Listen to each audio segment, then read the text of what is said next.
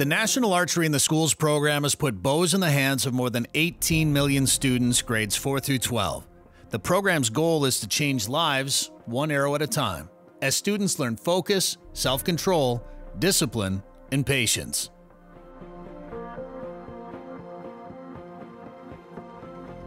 The Lakes International Language Academy, a Forest Lake charter school, has fewer than 1,300 K 12 students, but its competitive archery teams are among the best in the country.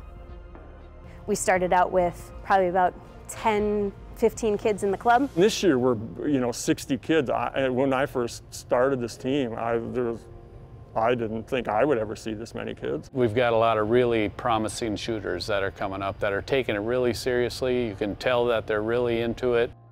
Last year, when we won the state tournament, it was the first time that Leela had ever qualified as a team for a national tournament. And so we were like beside ourselves with uh, joy that we could take the full team. The high school team placed third in the 2022 3D national competition. There are two kinds of targets. There's bullseye and 3D.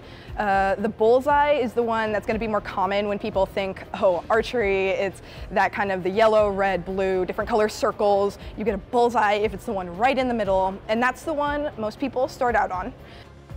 Uh, when you go to 3D, that is when you have uh, replicas of animals that are standing at various distances away and you're trying to shoot. It isn't uh, exact circles, actually. It's spaces where the vital organs could be.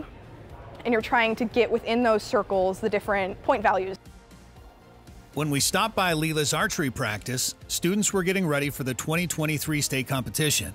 At that tournament, held in March, Leela's middle and high school teams brought home first and second place medals in the bullseye and 3D events.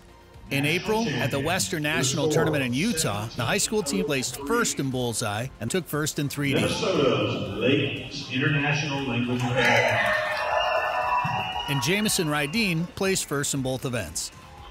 The championship performance was an emotional season finale for the team's three seniors Captain Sophia Johnson, Brooklyn Corbett, and Nakai Martinez. I mean, after 10 years, it's kind of like an era is ending and I don't, I'm not ready for it yet. Basically, we do everything together.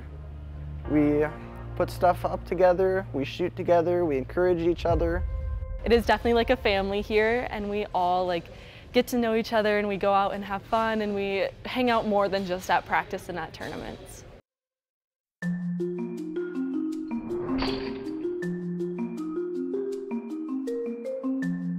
I'm a, I'm a competitive person. You know, I'd, I'd be a liar if I didn't find a lot of enjoyment in the success, how that shows on, on kids' faces. So what I like about archery is it's a team sport and also an individual sport. So you can work for a personal best, and even if you don't do as well, your score also contributes to the overall team score too. Every match consists of eight rounds four rounds at 10 meters, four rounds at 15 meters on a bullseye range, okay? Uh, the first round at each distance is a practice round, and then you shoot five arrows in each subsequent round, and, and those five arrows are used to create your score for that round. And the, and the scores range from a perfect 10, dead center on the target, out to a 1, the furthest ring outside on that bale. If you get all five tens, you get a perfect 50 and it's a perfect round. Uh, so the max score is 300. Uh, you shoot a perfect 50 and uh, it's reason to celebrate. As coaches, we go up and we announce. When someone gets a perfect 50, announce it, everyone applauds for them and they get a pin. This is where I put all my pins. I've gotten, one of them fell off, but I think it's like 19 or something in the eight years I've been doing archery. We have a lot of people that shoot a lot of 50s here, so we generally only give them out to the first 350s of each year? I've been shooting for 10 years, so they kind of like rack up. This year I think I'm at three. So, but in total, I think I'm around like 50. we had to start limiting how many pins we give archers during practice because we have some archers that would uh, walk away with a wheelbarrow full. We don't stop celebrating, but we don't give them a pin.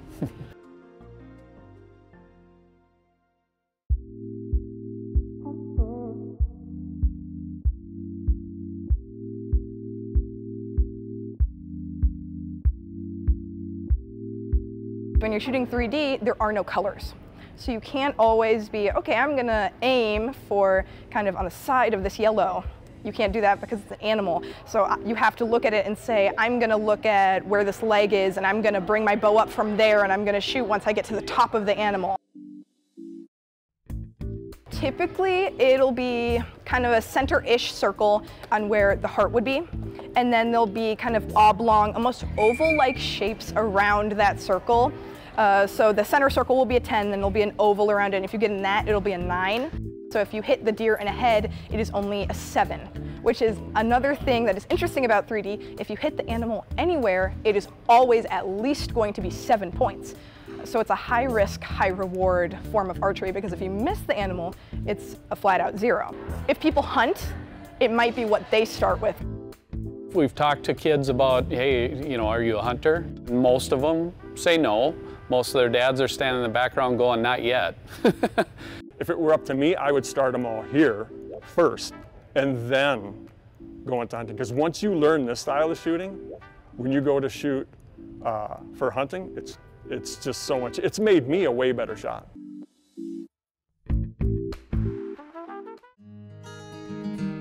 Before going to state, Lila's teams compete in regional tournaments.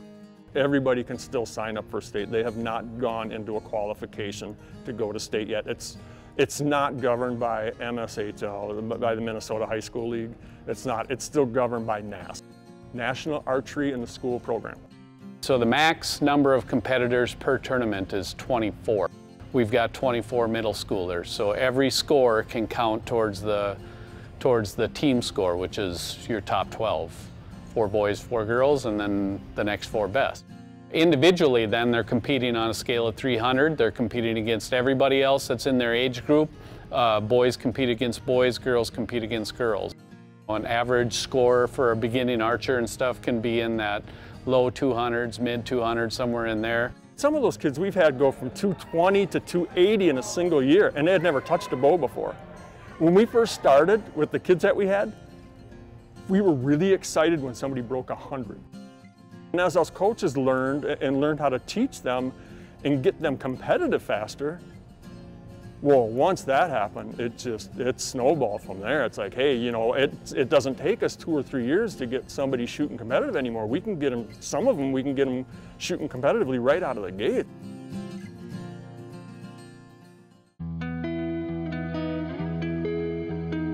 Beside competitive teams, Lila has a non-competitive archery club for 4th through 6th graders to introduce them to the sport.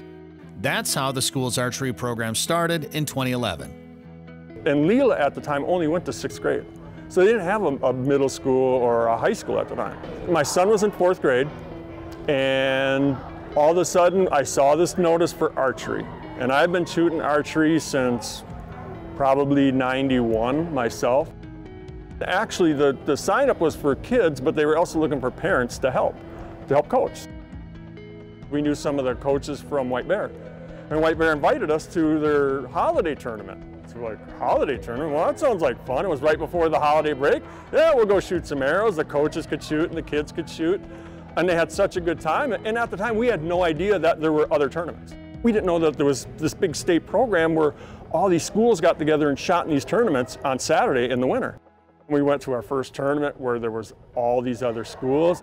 All these kids are going up there getting their trophies and their medals, and we're like, looking at the other coaches, I'm like, we got to do this. Our kids would love this.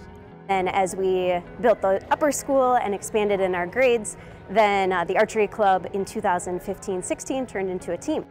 My brother wanted to shoot, but I did not at all. So my mom kind of signed us both up without telling me. And on the first night, she was like, well, tonight we have something special we have to go to. And I really did not want to go, like kicking, screaming, like, please do not make me go. But I ended up going and shooting, and by the end of the night, I went home and was like, when am I getting my own bow, and how long can I shoot? When we first started out, we just had a middle school, and we barely even had 12 archers. And at tournaments, it's 12 archers that make up a team, and that's how you get your score. Two of my good friends, Stella and Noah, uh, basically said, we need one more person for a high school team. And I said, sure, how hard can it be? They didn't necessarily need me to be good, they just needed to be able to qualify because they had such good archers already that it didn't really matter who else was shooting for them, they just needed one more person. And here we are, four years later, I'm still in archery. When we first started with our archery team, a lot of the teams that we were up against, you know, they had, um, you know, like Mahtomedi or uh, Milaca, like those huge programs that have hundreds of archers. And then the team got bigger and we had more kids interested. We started all of a sudden, we'd win one medal a year. It's like, all right, we're on our way, right? And then we win a trophy and a couple medals. And then next thing you know, we're winning 40 to 80 medals a year and we're winning all kinds of uh, trophies and now a couple of state championships and a, a, a nice third place uh, finish at, at 3D at, in nationals. And so yeah, so the, the program has come a long way. It's been a lot of work. It's a really engaged group.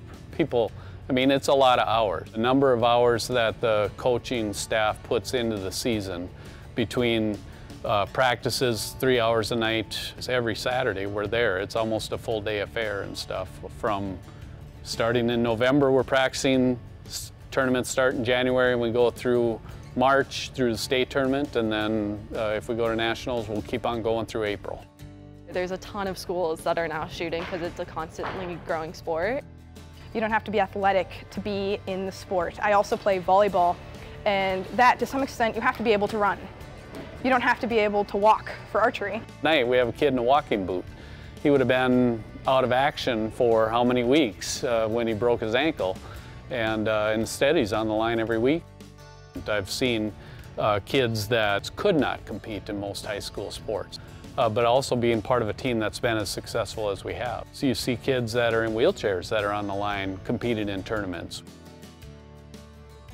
Anybody can shoot, anybody. We've taught I've had kids walk up to the line with holding the bow upside down. No idea what they're doing. And turn around and end up being pretty good archers.